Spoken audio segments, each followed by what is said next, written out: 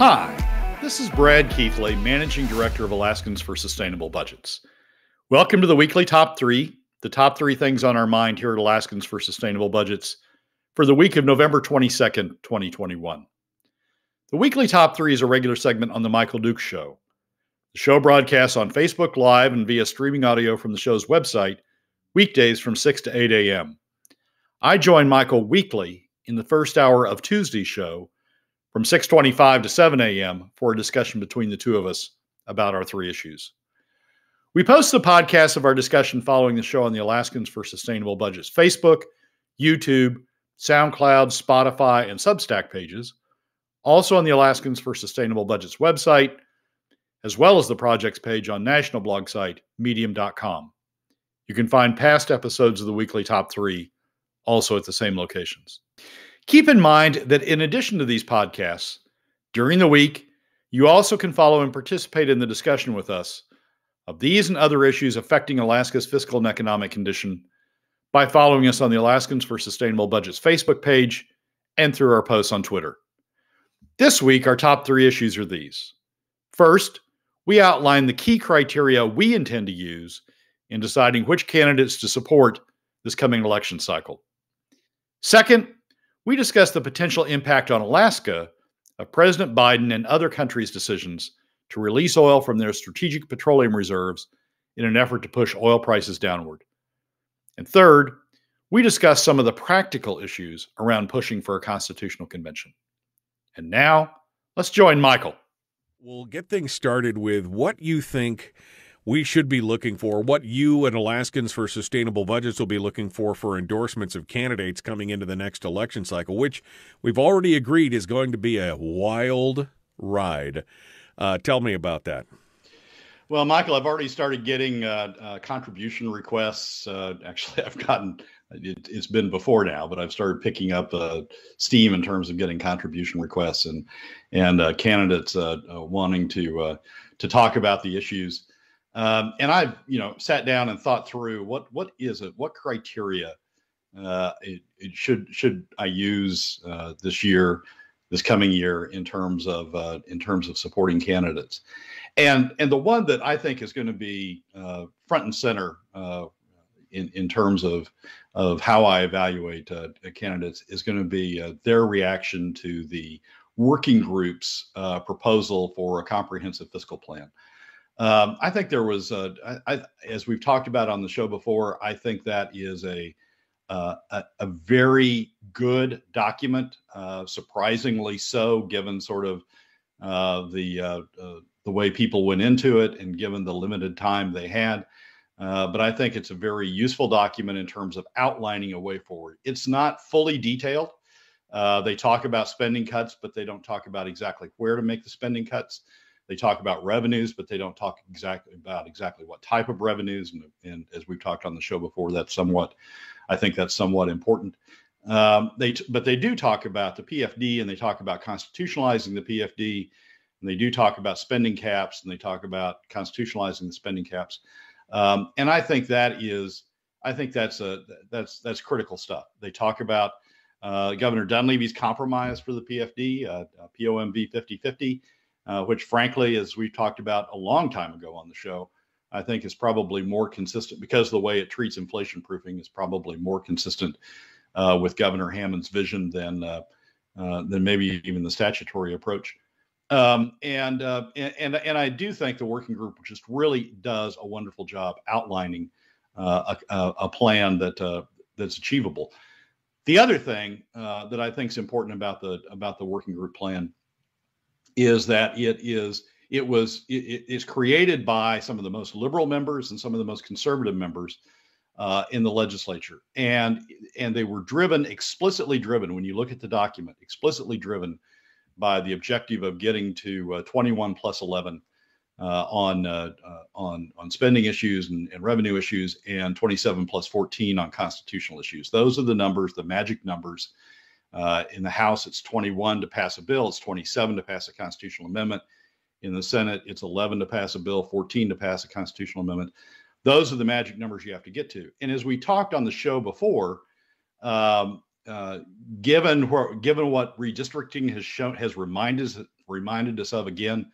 Uh, Alaska is a very red state at statewide election levels because the Mat-Su is so red that it just gives such overwhelming majorities uh, on statewide issues. But on on legislative issues, um, uh, Alaska is very uh, purplish.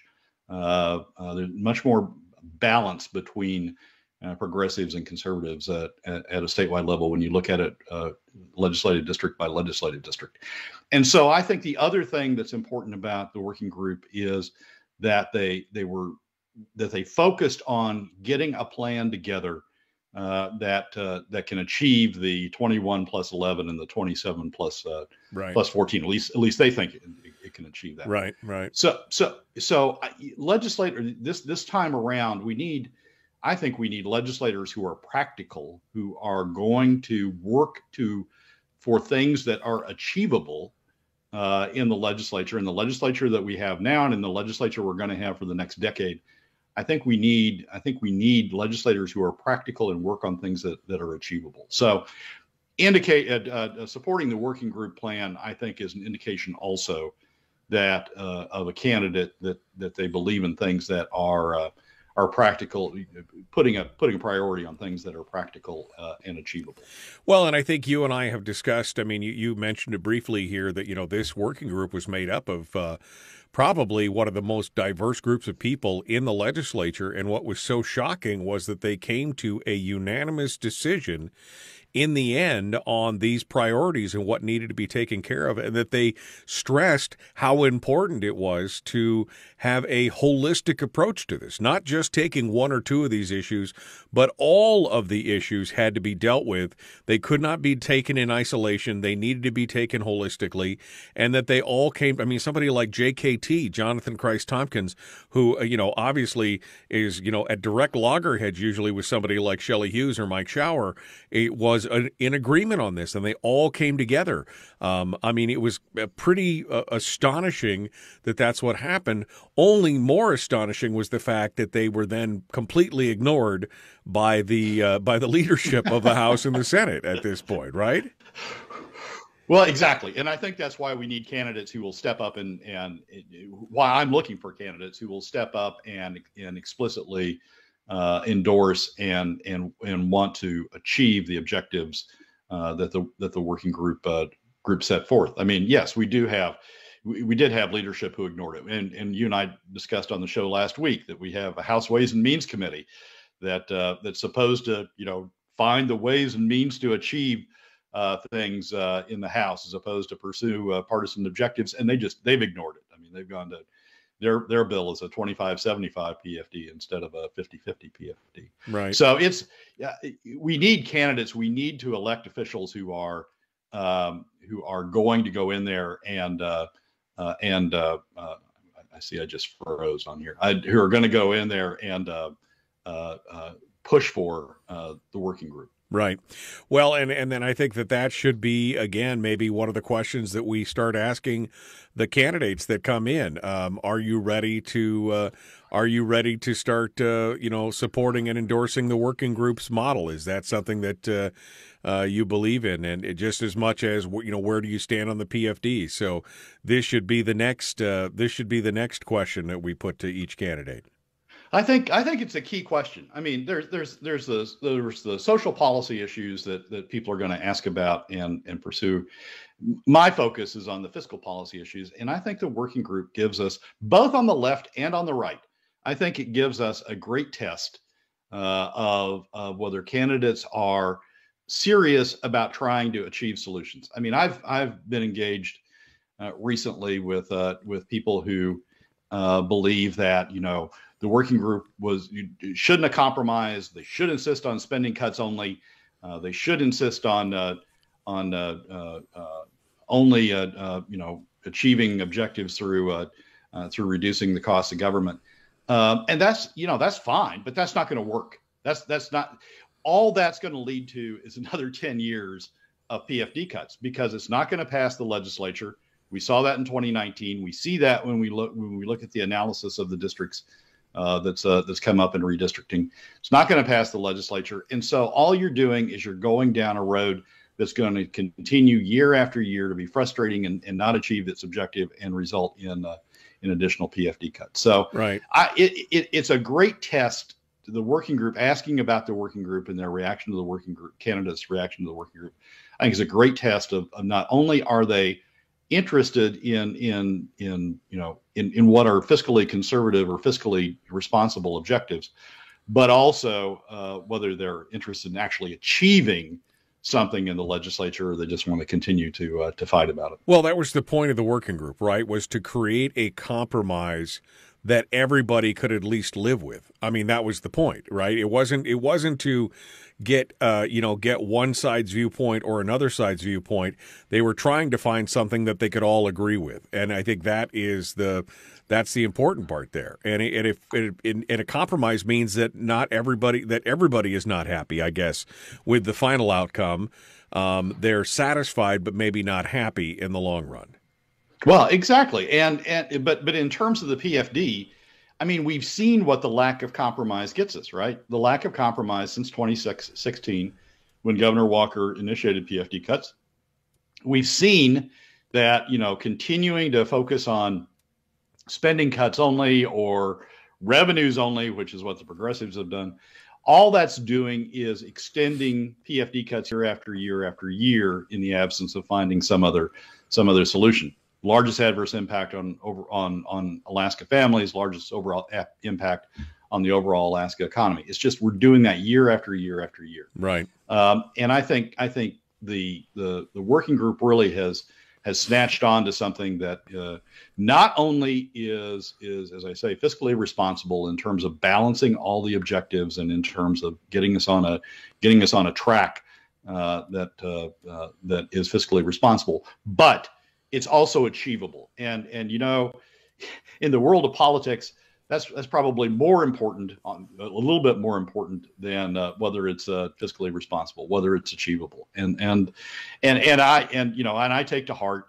uh, uh Mike Shower's endorsement, Shelley Hughes's endorsement, Ben Carpenter's endorsement, uh, Kevin McCabe's endorsement, Mike Prax's endorsement. I take to heart uh, that that those people came to the table, stepped up, and endorsed.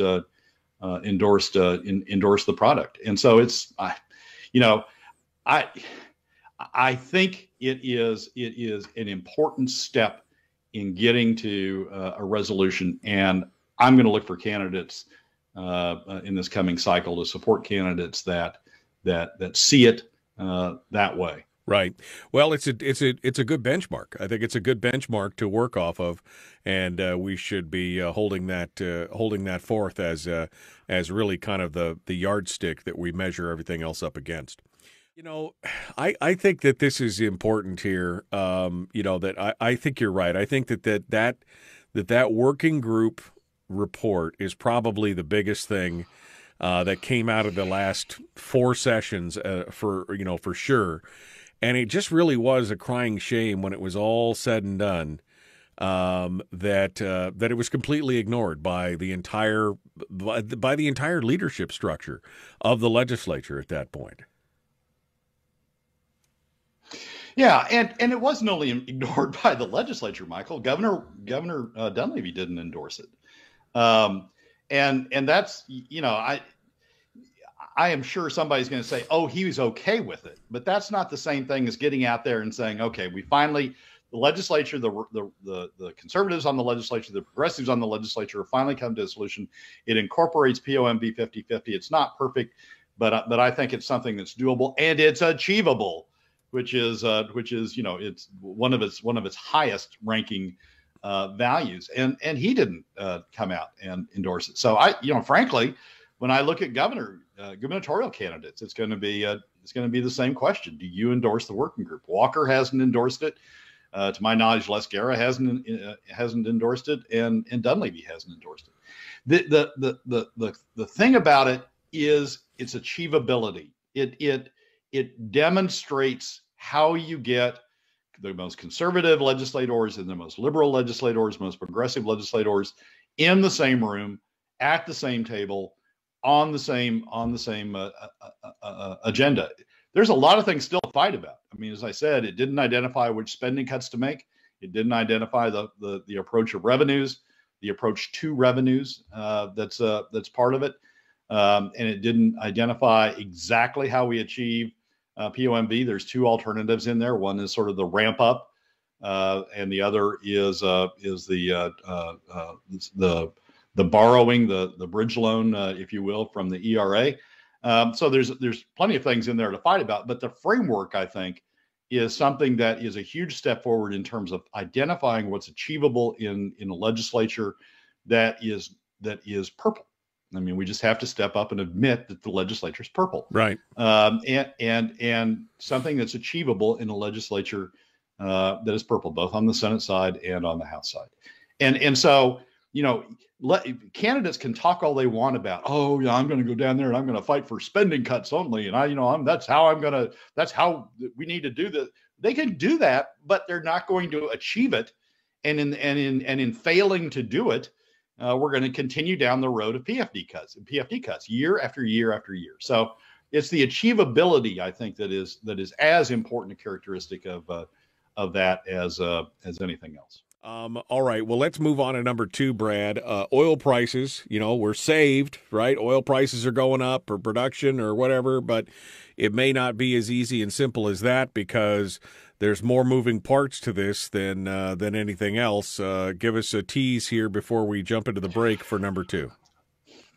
Well, in response to uh, uh, rising gasoline prices and uh, and the concerns about uh, inflation in general, Uh, uh, President Biden today announced, uh, this morning announced uh, on the East Coast, that we're going. He's going to authorize a release of volumes from the Strategic Petroleum Reserve in an effort to increase oil pro- oil volumes in the market and and have an effect on price, reduce price. Um, I'm not sure what that's going to do. We'll talk about that after the break, uh, and we'll also talk about uh, what it's going to do uh, to Alaska. But I think it's something that we that uh, we need to talk about and take into account. Continuing, Brad Keithley, our guest, Alaskans for Sustainable Budgets, weekly top three. We're on to number two, which is oil prices, which they're going to save us, or maybe they're not, or yes, they are, or maybe they're not, or the boat keeps rocking back and forth, Brad. What are we doing here with oil prices? This strategic petroleum reserve is now about to be tapped. What does it mean for us? What does it mean for the future? Give us your thoughts on this before we move on to number three. Well, the the the issue that that uh, uh, that's that's arisen over the last uh, as oil prices have gone up is their impact on gasoline prices, and and their and their general role in in uh, in in pushing up inflation. Uh, that's been the issue in the United States. It's also been an issue in elsewhere in in in the world. Uh, India has has had a lot of concerns about the increase in oil prices and the effect on on their economy. Japan has had uh, uh, the same concern with respect to the uh, impact on their economy. China, uh, to a degree, has had the same concern about the impact of oil prices uh, on their economy. All uh, consuming nations, in terms of in terms of oil consumption, um, and so and so it's it's a it, it's become a worldwide issue. President Biden is playing into that by by coordinating uh, a response to increased oil prices. First, it was to try to you know push back on OPEC uh, and ask them to uh, to put more oil on the market in the hope of uh, bringing prices down. Um, and uh, and and the other nations, uh, concerned nations, joined in that effort to some degree. that hasn't worked. OPEC essentially said, "Nope, not us." Um, and now the administration is focusing on the Biden administration is focusing on on other Uh, uh, ways to uh, to handle it. One of them uh, being to open up the taps on the Strategic Petroleum Reserve, America's Strategic Petroleum Reserve, and put additional oil on the market in that fashion. And the the the indication is that Japan, uh, India, and maybe China are going to participate in that as well uh, by opening up some volumes from uh, their strategic petroleum reserves uh, and putting that on the on the market as well. It's uh, the the early indications are it's not moving the market much. Uh, I looked at prices before I came on the oil prices today. Uh, before I came on the show, and they're actually up a little bit from where they were uh, yesterday. That the market can can swing back and forth. They may be down now, but uh, they were actually up a little bit right on the heels of of the announcement. I think, though, uh, that if it does turn out to be a coordinated action, that if Japan and India and China also participate uh, in opening up their uh, SPRs, uh, that I think it probably will have uh, an impact on price. Now, OPEC has has the opportunity to respond to that by not making the additional increases in production over the remainder of this coming year uh, that they've scheduled. They've scheduled increases of about 400,000 barrels uh, a day uh, on a monthly basis, and they can uh, uh, hold back on those increases and tighten the market um, in that fashion. Um, so, what we may be in for is a period of time where oil prices are going to swing significantly more than they have up to this point, as you have sort of the push and pull of uh, of the uh, of the industrialized consumers pushing back on uh, pushing back on prices by opening up their petroleum reserves and OPEC responding by perhaps pulling back on its production levels. Ultimately, using the spur the spurs doesn't work very well because they aren't production sources they're storage sources and there's only so much in the storage and so it's it it sort of is a is an extended period of trying to control the market by releasing from the spurs. Uh, but ultimately, you run out of your ability to do that. The other uh, problem is the spurs are there uh, for to deal with a truly uh, emergency situation. Right. Um, and uh, and if you drain the spurs, uh, then in tr- in trying to control the market, you don't have them available or as available in the volumes if you have a true emergency situation. So there's some limit on on how this goes. But I think for Alaska, what it means is a period of some uncertainty about what price is going to do, uh, as we have this tug of war between uh, the consuming nations who are trying to use their spurs to affect price, and OPEC pushing back by using its power uh, over production to uh, to affect price, um, and and the and the and the price certainty that that we may think we see at this point, as Alaskans see at this point uh, going forward over the next uh, year, uh, year and a half, uh, maybe uh, we may be in for a roller coaster ride as it goes uh, goes up and down. Well, again, because it does not behoove OPEC. I mean, they're making money hand over fist, and they want to balance the market slightly, but they're happy if the prices are high. So why would they want to participate at that point? You know, it's not like they're doing us any favors at that point. So, for sure. Um, yeah, and, and and the other the other effect, Michael, is it may make investment uncertain again. I mean, as price becomes uncertain and market dynamics become uncertain, investment dollars, which have other places to go in the world, uh, investment dollars may become uncertain. So it, it just it's a it, it creates an uncertainty uh, that I think is uh, not very advantageous to producing uh, states like uh, like Alaska. All right, well, let's move on to number three. The final question here. We had a long conversation last week with State Senator Mike Shower, who believes that uh, um, uh, that uh, the CONCON, the Constitutional Convention, is going to be one of the only ways to fix the problem that we have right now because he doesn't believe there's a political will to fix it with the working group's uh, plan or anything else. Uh, and there are other senators who have mentioned this as well. Um, I have some hesitations on the con uh, simply because I believe that it opens us up to some issues. But I think you've got some deeper issues overall with the Constitutional Convention question. So, what are your thoughts on that? Well, I, I share the issues that, uh, that, that you've expressed before on the show. I mean, we've talked about it before about uh, about the uncertainty of, of uh, where it goes and the potential it could veer off into into going down a, a, bad line. But but today I just wanted to focus on the procedural aspects of it. There's a great article uh, for those that haven't read it in Alaska Public Media uh, on the Alaska Public Media uh, website uh, a story uh, uh, focusing on the Constitutional Convention. And I think there's some procedural issues that people haven't taken into account. For example, even if there was a vote, a positive vote on the Constitutional Convention uh, in this election in this election cycle, the Constitution provides that the election of the delegates doesn't take place until 2024.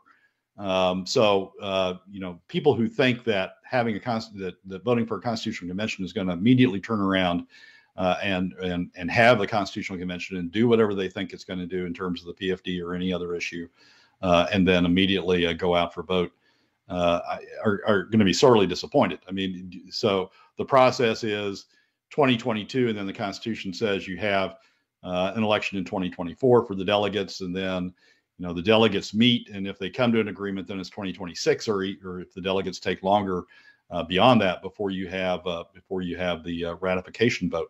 For those who are looking for a fix for the PFD, uh, a quick fix, uh, quick in terms of a year or two years, or the the Constitutional Convention doesn't doesn't give it to you. There's also, I think, some questions even whether we would have be able to have the election in 2024. The Constitution provides that the delegates would be selected in a fashion as they were as they were selected in the prior uh, in the prior constitutional convention in 1955, and that elected a certain number of delegates statewide, a certain number uh, by judicial district, and then a, and a certain number by land recording district um, uh, in the state. Uh, that, uh, other than the statewide segment, uh, doing it by judicial district and by property recording district probably violates one man, one vote. Uh, the delegates were elected in the mid 50s. One one man, one vote didn't come in until play, come in to place until the 1960s. So the delegates were elected in the old system uh, were elected before one man, one vote was the uh, was the was the the rule of the land. So um, I think there's probably a, a, good basis for a challenge uh, to uh, to the election system that's set up in the Constitution. The Constitution does provide that the legislature can establish a different system, both a a sooner election of delegates and a different system for the election of delegates. But that assumes that the legislature would come to an agreement on how to do it. And I think, uh, given the divided nature of the legislature, as we've talked about before, the continued divided nature, even under redistricting, uh, I think it's unlikely to to think that uh, that uh, uh, that would uh, that the legislature would come to some agreement on how to do the constitutional convention. So I, I see I see nothing but a lot of delays in terms of being able to even get the Constitutional Convention off the ground, court challenges, uh, uh, uh, perhaps the need for an additional, a, a, subsequent election if the first election is held uh, uh, in the manner provided uh, in the Constitution, and and just a long time to go down the road before before we even get to the point where there's delegates that are considering you know changing the the PFD by by a constitutional fashion. I understand I understand the focus for you know the the pent up demand for finding uh, a solution to uh, to this issue, but I think a much better avenue for using that pent up demand is focusing on electing candidates who are to go back to the first segment who are, are committed to implementing the working groups outline of how to find this how to find the fiscal solution I think that's a much faster, a much surer way um, of getting to the result, as opposed to you know wandering off down the down the the, the approach of a constitutional convention uh, and the uncertainties not only in the outcome of a constitutional convention, but the uncertainties and the timing of finally getting to a constitutional convention that uh, that I think we're going to face. Well, and the irony of going back to the legislature to set up a new voting, uh, uh, you know, scheme for a constitutional convention. Uh, you know, the irony of that because we have to pull the constitutional convention because the legislature won't do anything or won't come together on some of that stuff. I mean, uh, you're talking about a catch 22 there. I mean, that's a self licking ice cream cone if I've ever seen one where they, you know, they, they, they could stretch that on for years at this point. Oh, they could. And, and, and it's another 21 plus 11 issue, right? Uh, it takes 21 plus 11 to, uh, to adopt that. And, and I doubt that you have 21 plus 11 who could agree on the procedures. I mean, everybody would want to advantage the procedures to their, uh, to their particular outcome and I think uh, we just find uh, a, a, continued uh, stalemate in terms of uh, looking at the legislature to solve that issue. I don't think that I, I think that those who keep calling for the constitutional convention. Um, I don't think that they appreciate the length of time. I mean, you're talking about a, between a six and a ten year process, right? I mean, really, realistically, is that is that what you're seeing right there? Potentially so. I mean, I, I see a lot of uh, uh, I see a lot of potential because of the way that the that the Constitutional Convention or that, that the Constitution says you would select delegates in the absence of legislative action. Because of that, I think uh, it's it's ripe for litigation. Um, and as we all know, litigation can go on for a long time. So if if the litigation went on, for example, past uh, uh, the the uh, the two year mark or the the point you needed to be able to select delegates in 2024, and it easily could, because one man one vote's a federal issue. So you could have a you could have a state suit that went to the state supreme court to decide how to do it, and then that could be appealed to the U.S. Supreme Court um, uh, you could you can see a path where you know you, we can't do the election in 2024, so it has to be put off to 2026. Um, and I, it's just maybe we don't get there. Maybe we don't get there with a working group. Maybe we don't get there with candidates who are committed to the type of compromises and the type of comprehensive solution, the type of achievable solution that the working group outlined. Maybe we don't get there. Uh, but uh, but I think you know putting all your eggs in the basket of counting on a constitutional convention to to to to produce a result uh, is uh, is is just uh, just the wrong way to go. I mean, by that time we will have had 2026. We will have had PFD cuts in place for right, because they aren't going to go away while we're waiting on the well right. waiting on the whole process. Everybody's going to put it off, saying, "Oh, the constitutional convention is going to resolve that." So we will have had PFD cuts for a decade by the time we finally get out there at uh, at some point. And uh, you know, at some point, you just lose lose the momentum to to rectify PFD cuts. So I, I just people who are looking for a quick fix, I think that I think the better approach, much better approach, uh, much more certain approach, is to go down the path that the working group outlined as opposed to you know put all put your eggs in the basket of a of a constitutional convention. Well, and like I said, that doesn't even address the issue of outside monies or outside special interests coming in trying to influence the uh, the outcome of the of the constitutional convention and you know changing fundamentally changing our constitution on top of that. Yeah, exactly right. Uh, it, there's a there's a whole bunch of other issues once you get once you finally get to the Constitutional Convention, but I but I think people need to start thinking through, and the and the and the Alaska Media article is a good place to start. People need to start thinking through the the practical, accomplishable uh, steps that are uh, that are going to uh, have to take place to to even get to the point where you've got delegates uh, delegates assembled for the purposes of of uh, of trying to draft one. I appreciate you coming on board. Thank you, Brad Keithley, uh, for being part of it today.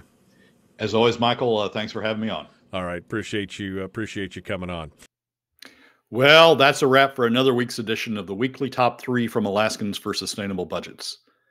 Thank you again for joining us. Remember that you can find past episodes on our YouTube, SoundCloud, Spotify, and Substack pages, and keep track of us during the week on Facebook and Twitter.